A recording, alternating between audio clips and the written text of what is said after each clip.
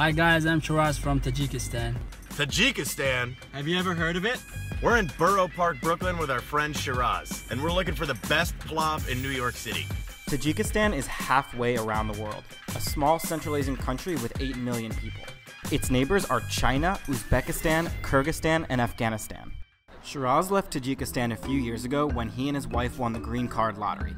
You know, you just get lucky. And then they moved to Memphis? When you moved to Memphis, was there was there a Pamiri community at all? No, not at all. Uh, when I was walking around, I was like, am I right now, uh, you know, here? You might have that feeling too. You go to somewhere, and then you, it was so, so like totally different. Besides the culture shock in Memphis, there were some other surprises. I never experienced a place where I can't go anywhere without a car. After six months in Memphis, Sheroz moved to New York. Do you find that New Yorkers are friendly New Yorkers compared are, to home?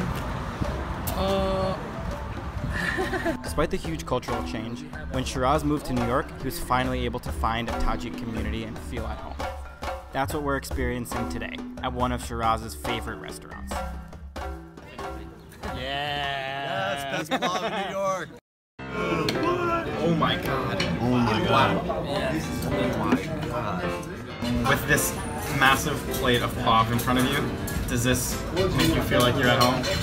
Definitely. The atmosphere, the people here. You're back there, back home.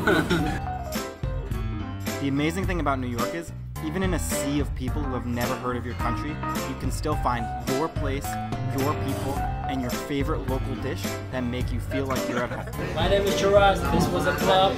Rally on.